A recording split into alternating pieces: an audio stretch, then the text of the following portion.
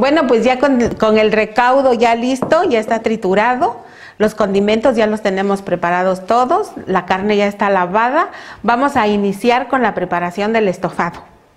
Ya tenemos hirviendo el agua y vamos a proceder a ponerle la carne para, que, para su cocción se la vamos a agregar en pedazos.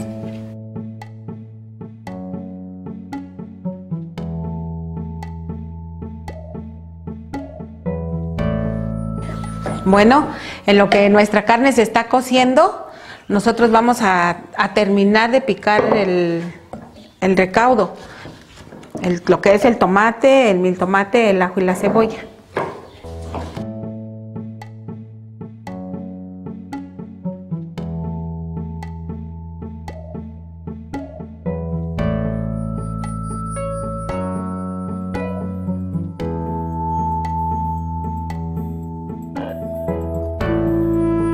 En ese momento la carne ya está despidiendo la espuma, entonces vamos a pasar a, retirársela para que después de, de, sacarle la espuma ya le ponemos sal. Bueno, una vez que ya le retiramos la espuma a la carne, eh, continuamos con ponerle sal.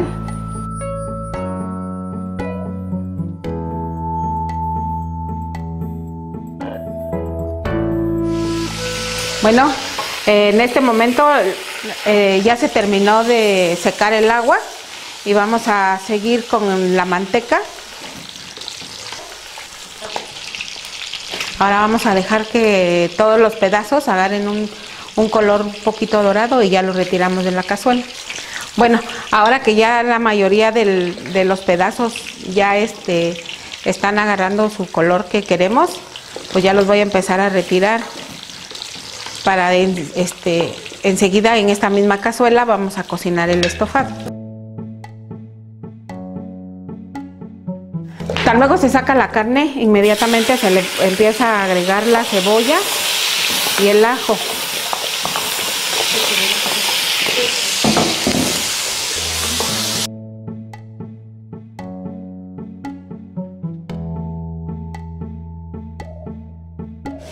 Ya tan luego se vea la cebolla que ya está este, acitronada, le agregamos el, el.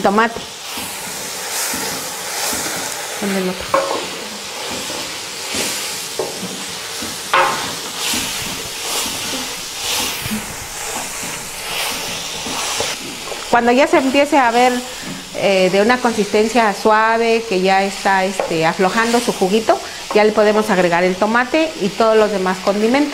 Bueno, cuando el mil tomate ya cambió de color a un color más pálido, en ese es el momento de agregarle el tomate y se lo vamos incorporando poco a poco. Bájala más.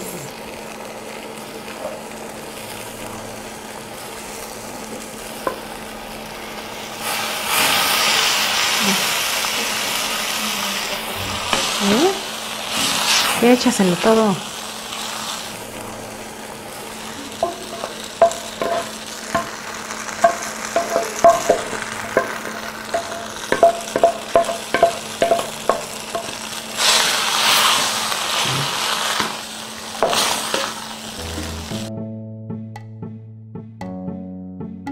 Bueno, ya mezclamos bien todo el recaudo, que aquí ya tenemos el, ajo, la cebolla, el mil tomate y el tomate. Entonces esperamos que hierva un ratito el tomate y ya le empezamos a agregar los demás condimentos y, y sabores. Pues aquí ya tenemos el recaudo, vamos a esperar nada más. Esta es la parte que tenemos que esperar un poco para que eh, sazonen bien el recaudo y le vamos a, vamos a pasar a la parte final que es agregarle ya todos los demás condimentos. Bueno, pues también como, como cocinera, este, siempre todas las personas que se acercan a mí para ayudarme y me, hacen sentir mucha satisfacción cuando me dicen que estuvo rico, que estuvo delicioso, que, que le puse, que cuánto le puse yo siempre comparto mis conocimientos. Eh, no soy egoísta, me gusta que, que las personas también aprendan a hacerlo. Por ejemplo, a mi hija le estoy enseñando cómo todo lo que yo sé cocinar, porque por ejemplo, las comidas tradicionales de aquí, pues es el estofado, los higaditos, el almendrado, las barbacoas. Gobierno de México.